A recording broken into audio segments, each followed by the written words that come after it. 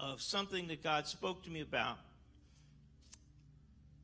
When I stand behind this pulpit, I don't want to exaggerate. I don't want to say God said and it didn't happen. I don't get up here and prophesy to anybody. But I was preparing, now hear me. I was preparing for New Year's. And as I was preparing for New Year's night, that entire day I spent praying and seeking God for the New Year's service that we were going to have. And a spirit of prophecy came over me. Now, I don't ever claim to be a prophet. Uh, I believe in prophecy, but there's a lot of people that sometimes it's easy to say, Thus saith the Lord, and God wasn't even in it. But let me tell you what God showed me quickly. And that is this. As I was praying, the spirit of prophecy came on me, and I began to prophesy to myself. And the Lord said to me, and I, I, I and I was going to give it that word on New Year's Eve that God spoke to me because He had spoke to me that afternoon.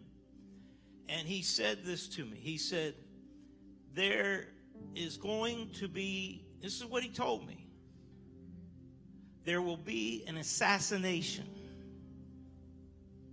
Now, this is New Year's Eve before the service, and I've been preparing this entire time. And God said there's going to be an assassination on a leader, a world leader. And I'm thinking, now, that's, that's pretty rough to get up and tell the church that that there's going to be an assassination on a world leader, and everybody's going to be looking for it. If it doesn't happen, they're going to mark you as a false prophet. Are you with me? Wave your hand if you're with me. And the Lord said, after the assassination, now my mind went immediately to our government and to the leadership of our government, is what I was thinking. But the Lord said, after that assassination happened, things would begin to happen, and this is the word peril, perilous times. He said that would begin perilous times in the world. Little did I know within 24 hours that there would be an assassination that would happen in the Middle East. And then God said, perilous times would soon be on the heels of the assassination. This is what he told me. He said, But tell the people that not a hair on their head shall be harmed. This is, this is what God told me. He said, Tell the people not a hair on their head will be harmed if they learn to praise me, I wish somebody would help me right there. If they would learn to praise me in perilous times. Now, I don't know about you, but I believe that when God gave me that word, something began to happen in the spirit realm. And I know that they're making a lot of threats right now. I know that people are talking about wars and rumors of war. Everybody look at this way. Look at me. And that's what the Bible says. We're nearing the end of this time. And it's not a it's not a coincidence, hear me, that we're coming into a new decade and a new year that there's been an assassination on the general on the general of Iran and now they're making all their threats. But perilous times will come but learn to praise God through the perilous times. Now, there is, there is, there is, let me just give this to you and I must hurry. There is worship where you go deep and heavy and you get into the throne room, but then there's also praise. And David said, I will go to Without Walls International Church.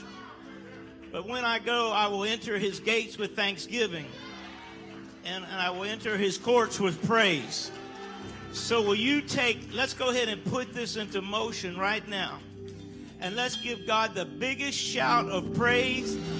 Now, listen to me. If you can learn to do that in church, like you're doing right now, when you go through perilous times and trouble comes knocking at your door, you remember the word that your bishop gave to you, that God gave to me on New Year's Eve as we are getting ready to go into a new decade. Yes, perilous times may come, but praise God through the perilous times.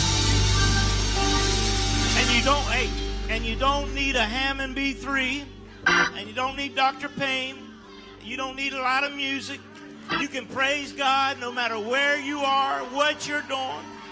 You can be at Publix, and all of a sudden the Holy Ghost come upon you and you just begin to say, Thank you, Jesus. And if you don't have anything to praise God for, praise God that God's blessing me.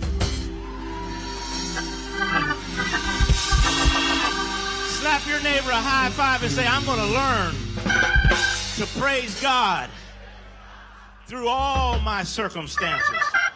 Now, when I said that, listen to me. Some of you are going to say, yeah, it's easy for him to say that now after it's happened. But I was already prepared. I had both barrels loaded to give you that word, and I could hardly wait to get you here today because I see it happening right before our eyes. It's happening right now. But I believe it's all leading up to the greatest revival in the history of church. Dion, it's coming our way. It's coming our way. I'm telling you, revival is on the way. And I'm not talking about crowds or attendance, but I'm talking about a mighty move of the Holy Ghost that's going to sweep colleges, it's going to sweep campuses, it's going to enter into the public school system because I believe a revival is here. When the clock struck midnight, God said, It's my turn now. The devil showed off enough, and it's time we put him in his place and begin to praise him.